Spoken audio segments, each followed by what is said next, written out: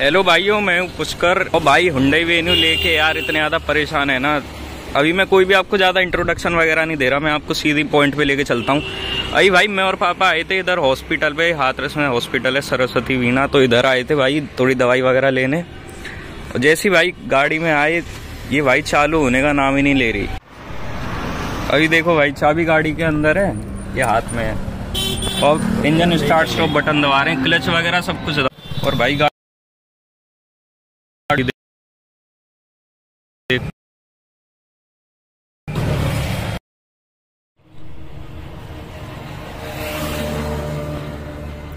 ऐसी बात नहीं है कि इसमें बिजली नहीं आ रही है सब कुछ आ रहा है। देखो उसका प्लेट वगैरह में लाइट वगैरह सब कुछ चल रही मीटर भी चल रहा है लेकिन बैटरी ऑन है। बैटरी भी ऑन है। सारी बात है मतलब बिजली तो पहुँच रही लेकिन पता नहीं कुछ चालू नहीं हो रही है जबकि चाबी वगैरह सब कुछ अंदर है।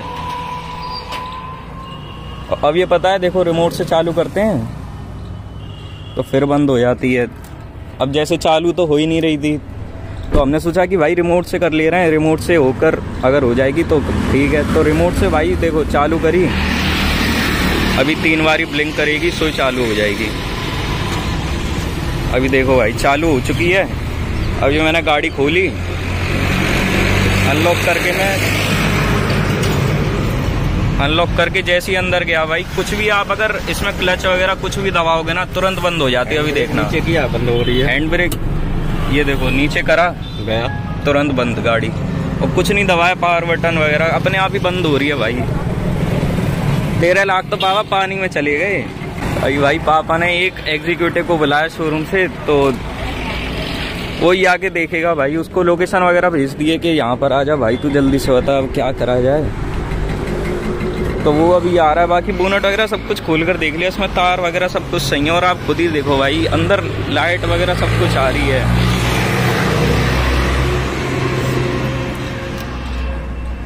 सारा कुछ होने बस वो इंजन स्टार्ट स्टॉप बटन ही नहीं काम कर रहा शायद।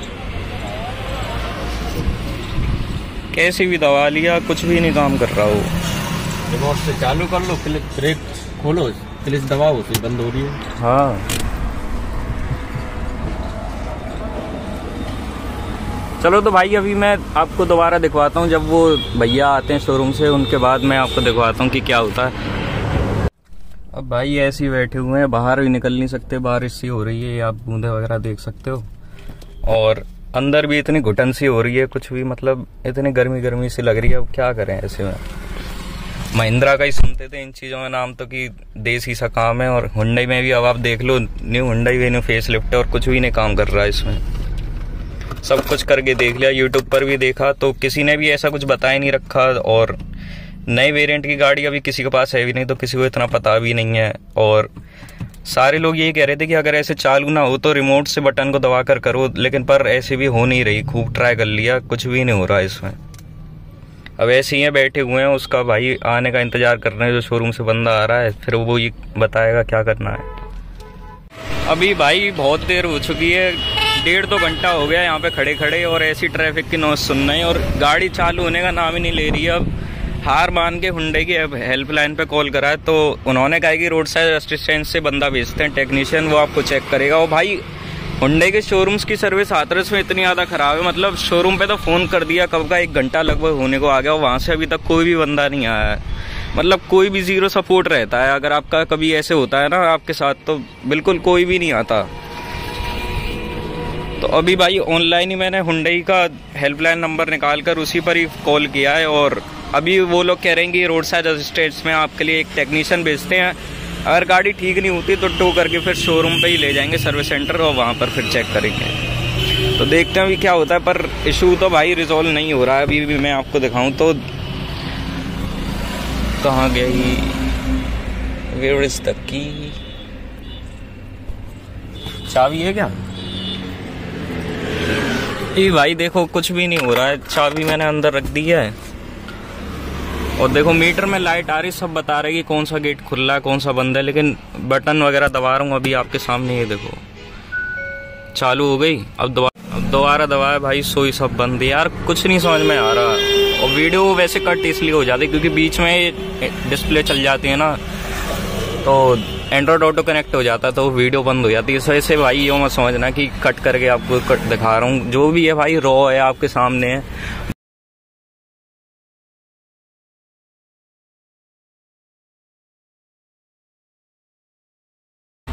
भाई, पूरी गाड़ी में रिंच ही नहीं है।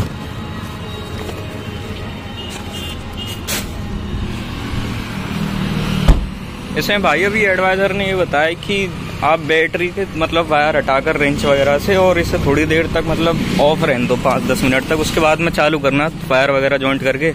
तो हो सकता है हो जाए, क्योंकि ये टेक्निकल चीज़ें हैं यार, इनमें ऑन ऑफ़ करना चलता रहता है। हैंग वगैरह होती रहती हैं। और बाकी कोई स्क्रिप्टेड वगैरह वीडियो नहीं है भाई। अगर इतना ही होता तो मैं ही अकेला बना देता, पापा भी बुलाता साथ में। तो आप ऐसे मत समझना कि भाई व्यूज़ के लिए बना रहा है और ऐसे कुछ। भाई ये हुंडई वाले पता है अपनी गाड़ी में दो रिंच भी नहीं देते। अब मैं बेचारा दोस्त के साथ मैंने दोस्त को कॉल करा और उसके बाद में दोस्त के साथ आया हूँ। यहाँ तक भाई बहुत दूर था और रिंच वगैरह अब लेने आया हूँ। देखते हैं जाके क्या होता है। और बताओ, स्कूटी वाली टूल किट में रिंच और गाड़ी में हमारे यहाँ पूरी देख ली, कहीं भी रिंच नहीं है, सिर्फ़ जैक और वो सब डाल के दे देते हैं। यार, इतना तो ध्यान करना चाहिए, कहीं पे बैटरी वगैरह खोलने की ज़रूरत पड़ जाए, आदमी कैसे खोलेगा? अब ये तो चलो घर के पास था, अपनी सिटी में था। अब होते कहीं दूर तो हाईवे वगैरह पे क्या ही करते और सर्विस वालों का ये हाल है भाई, अभी तक भी आए नहीं है और हम लोग दो बजे से परेशान है। साढ़े चार होने को आ गए, अभी तक भी कोई भी जवाब नहीं है। अब जाता हूँ, देखता हूँ स्कूटी लेकर, फिर पहुँचता हूँ, फिर आपको दिखाता हूँ क्या सीन है। अरे भाई, इधर आ चुका हूँ बैटरी खोल रहे हैं। मतलब उसने भी असिस्टेंट ने यही कहा था कि भाई बैटरी खोल के रख दो दस बीस मिनट के लिए, और उसके बाद ट्राई कर लेना। लेकिन अभी तक ही भाई हुंडे की तरफ़ से कोई भी रेस्पॉन्स नहीं है। ऐसा भी नहीं है कि बहुत दूर है शोरूम यहाँ से ऐसे कुछ होगा, पाँच से सात किलोमीटर के करीब, लेकिन फिर भी अभी तक कोई भी रेस्पॉन्स नहीं है, कोई नहीं आया। भाई, सबसे शॉकिंग बात तो ये इतनी बड़ी गाड़ी दी है और ये भी नहीं, इसमें दो इंच भी डाल के दे दे बैटरी वगैरह खोलने के लिए। बताओ होंडा में एक्टिवा जैसी कंपनी भाई, रेंच वगैरह तो देती है, कम से कम कि कोई भी खराबी हो जाए तो सही कर लो, लेकिन इसमें कुछ भी नहीं था। अभी स्कूटी वगैरह के रेंच टूल बॉक्स निकाला है, उससे करा ये सब। अभी तो चलो, हम हाथरस में ही थे मतलब घर के पास ही थे थोड़ा बहुत तो इस वजह से हो गया, वरना कहीं दूर होते हाईवे वगैरह पे कोई भी सहारा नहीं था। और हुंडई का तो भाई भूल ही जाओ, अभी तक भी कोई भी रेस्पॉन्स नहीं है। काफ़ी भाई भाई ये भी सोचेंगे कि यार तुम उस तरीके से करो, इस तरीके से करो। तो भाई सारे तरीके वैसे करके देख लिए हैं। इंजन स्टार्ट स्टॉप तो कॉमन सा होता ही, उसे तो हम दबाते हैं तो उससे तो हो ही नहीं रही। बाकी चाबी से भी चालू करने का ऑप्शन आता है, लेकिन उससे चालू करके जैसे आप गाड़ी के अंदर बैठ के हैंड ब्रेक डाउन करते हो या फिर रेस वगैरह क्लच वगैरह कुछ भी दबाते हो, तुरंत गाड़ी अपना बंद हो जाती है। उसके अलावा तो भाई किसी भी तरीके से हो ही नहीं रही है। आप भाई बहुत टाइम से मतलब महिंद्रा वगैरह की सुनते हो, सर्विसिंग की, टाटा की सुनते हो, लेकिन यार आज हुंडे की भी देख लो, कुछ भी नहीं है। सारी कंपनीज़ का मेन टारगेट सिर्फ़ गाड़ी बेचने पे है। बाद में उन्हें कोई परवाह नहीं है कि क्या हो रहा है कस्टमर के साथ, कुछ भी नहीं देखते हो। पर सारा कुछ भाई कस्टमर को फेस करना पड़ता है। आप लोग भी भाई काफ़ी दिनों से सोच रहे थे हुंडई वेन्यू कहाँ है हुंडई वेन्यू कहाँ है, अब तुम उसे नहीं दिखाते। तो भाई आज देख लो किस मुँह से दिखानी पड़ रही है। और वैसे चाबी वगैरह की कोई गाड़ी होती ना तो भाई धक्का मारो तो सौ इलाज होते हैं उसके तो। लेकिन अब ये जो जितना ही सिस्टम इनका हाई सिस्टम आ रहा है ना, यानी कि इंजन स्टार्ट स्टॉप बटन वगैरह, वो काफ़ी ज़्यादा हाई क्वालिटीज दे रही है ना हाई फीचर्स के साथ। तो इनमें भाई बहुत मुश्किल होता है और इनमें आप ऐसे धक्का मार के चालू वगैरह कुछ भी नहीं कर सकते इनमें। आपको खड़े खड़े मुँह देखना पड़ेगा बस। अरे भाई देखो, नई गाड़ी है यार, इतना भी नहीं है कि बी एस फोर हो या फिर पुरानी हो, बहुत ज़्यादा भी ली है यार। छह महीने पहले वो बहुत दुख होता है ऐसी चीज़ें देख के, जब आपका बोनट ऐसे खुला हुआ हो ना, और आप भाई हाथ पीछे करके खड़े हुए हों कि अब क्या करें तो बहुत दुख होता है कि यार इतने पैसे कहाँ लगा दिए। अब देखते हैं भाई क्या ये होता है, लेकिन कुछ भी रेस्पॉन्स फ़िलहाल तो है नहीं। जो भी कर रहे हैं, खुद से ही कर रहे हैं। कंपनी का तो भाई ज़ीरो सपोर्ट है। साफ़ कह रहा हूँ मैं तो। और मैं ऐसे ये नहीं कह रहा कि भाई ये सारे पीसेस में दिक्कत होगी। किसी में कुछ दिक्कत होती है, किसी में कुछ होती है। अब हमारी में ये वाली दिक्कत है, क्या पता किसी में कोई और दिक्कत हो तो। ये सारी चीज़ें भाई, जितनी हाई टेक्नोलॉजी आ रही है ना, आजकल सब में कोई ना कोई दिक्कत यार आ ही रही है। भाई आप लोग देखो बारिश होके चली गई, दोबारा सूरज निकल गया और हम अभी तक यहीं के यहीं खड़े हैं। और भाई, जो भाई सोचेंगे, यार वीडियो स्क्रिप्टेड है या कुछ है। ऐसा कुछ भी नहीं है यार स्क्रिप्टेड होती मैं खुद ही बना लेता भाई, पापा के संग क्यों आता और आप देखो हॉस्पिटल का पर्चा वगैरह ये सारा कुछ भाई, कोई भी मतलब स्क्रिप्टेड वगैरह तो कुछ भी नहीं है इसमें। सारा कुछ रो है। बहुत देर तक तो भाई कोशिश कर ली, सारा कुछ करके देख लिया बटन वगैरह स्टार्ट हर तरीके से करके देख लिया लेकिन जब कुछ सोल्यूशन नहीं मिला, तब मैं इनका भाई छोड़ो, अब इसकी वीडियो बनाते हैं। और बाकी भाइयों को भी बताते हैं कि यार आपके साथ ऐसा हो तो फिर भाई क्या करें? कैसा एक्सपीरियंस कुछ रहता है जब आपके साथ ये चीज़ें होती हैं? अब भाई फाइनली 10 से 15 मिनट हो चुकी हैं, बैटरी खोले हुए। अब इसे दोबारा कसते हैं और फिर देखते हैं क्या रिस्पॉन्स है। वैसे तो भाई मुझे लग नहीं रहा कि कुछ होगा, लेकिन देखते हैं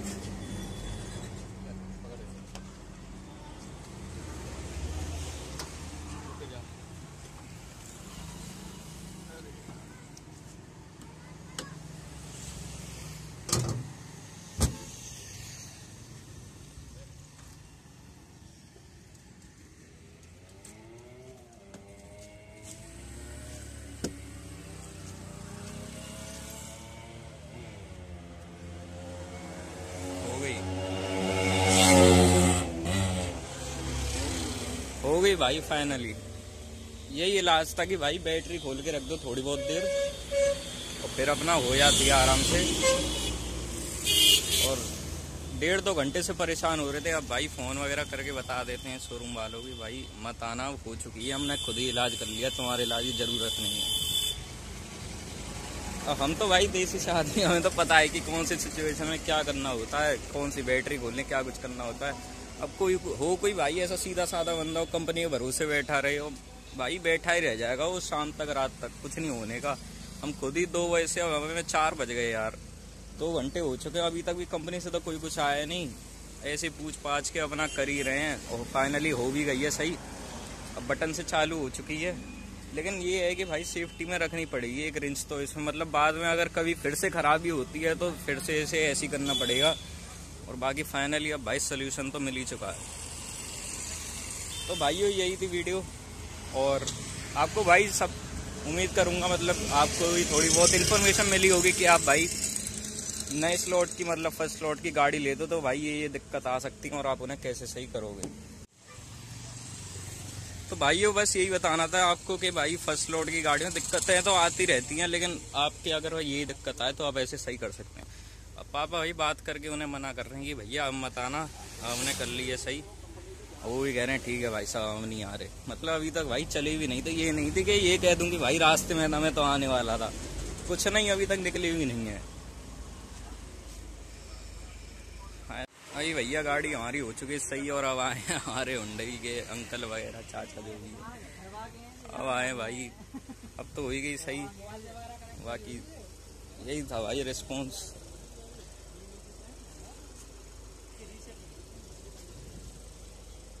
चलो भाई वो हुंडई वेन्यू अपनी सही हो चुकी है और भाई चलते हैं अब घर।